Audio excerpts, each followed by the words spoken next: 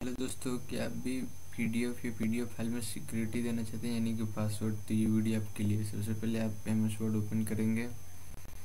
Open करने के बाद यहाँ से आप एक अपना जो जिसमें पासवर्ड लगाना है, वो फ़ाइल लेंगे। और इस यहाँ पर शो नहीं कर रहा था यहाँ पर ओपन में जाकर आप फ़ाइल ले सकते हैं। जैसे मैंने यहाँ एक फ़ाइल लिया है, उसके बाद उसमें प्रीपेयर में जाकर या इसमें जाकर यहाँ से जो आप पासवर्ड देना चाहते हैं वो यहाँ से दे कर, दे सकते हैं और यहाँ ओके कर सकते हैं। ओके करने ओके करने के बाद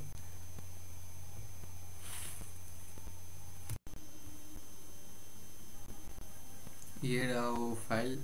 देखिए इसको ओपन करने के लिए पासवर्ड का, पासवर्ड मांग रहा है। इस तरह अपना वीडियो फ़ाइल या फ़ाइल को पासवर्ड दे सकते हैं। इस तरह वीडियो देखने के लिए हमारे चैनल को सब्सक्राइब करें और